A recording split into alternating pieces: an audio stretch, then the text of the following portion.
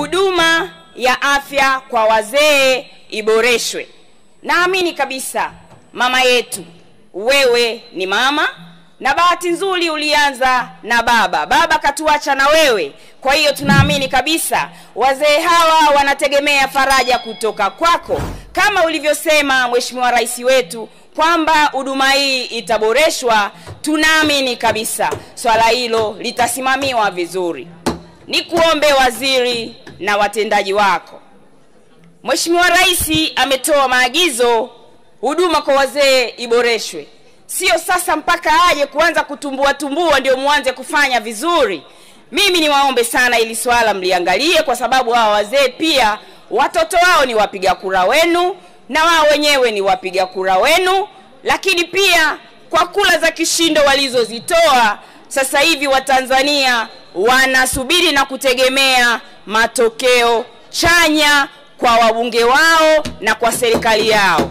Kwa hiyo mimi niseme tu, naamini kabisa Mheshimiwa Waziri pia uliyechaguliwa ni jembe, na naamini kabisa wewe ni mtendaji mzuri. Hawa wazee watapata faraja kutoka kwako.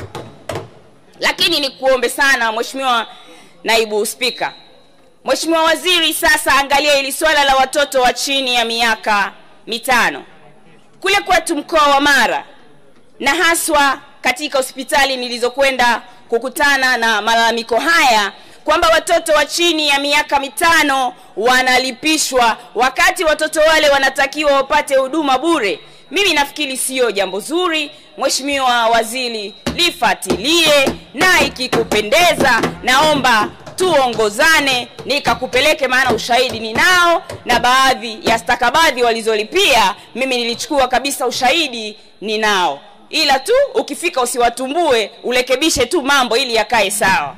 Kwa hiyo mimi niseme tu, kwa kweli wananchi wetu wanaumia. Tusimamie vitu tunavyokuwa tunavyoahidi, lakini pia tufanye kwa kadri ya mapenzi ya Mungu, tukiwa tunajua kwamba kesho ahera tutajibu nini. Sio tu watupigie kura, wakimaliza kutupigia kura wa tanzania hawa, vitu vingine tunakuwa kama vile hatuwatendei haki, wakati sisi wenyewe ndio tumeahidi kutoka midomoni kwetu. Lakini pia nishukuru sana tena sana serikali yangu ya Chama cha Mapinduzi kwa kipindi kilichopita na sasa hivi kwa kutujengea hospitali nzuri sana ya rufaa.